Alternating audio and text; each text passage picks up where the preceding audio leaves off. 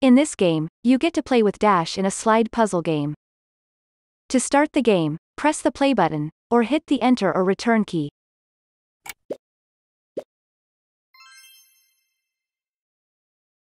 Tap the tile you want to move, or use the arrow keys to move the puzzle tiles.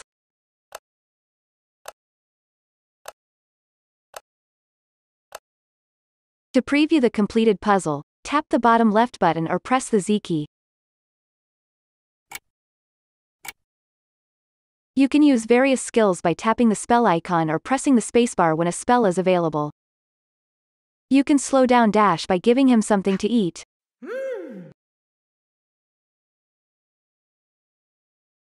You can temporarily stop Dash's progress by knocking off his device. Or you can cast a time spell to reverse Dash's progress. Once the game has ended, you can challenge your friends by sharing the app.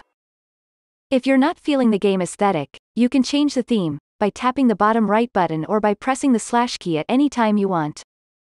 You can choose between evening, midday, and prevening. You can customize Dash by tapping them or using the keyboard angle brackets. Hmm. Hmm. Hmm. Hmm. In the menu section, you can view the keyboard shortcuts and preview Dash's animator.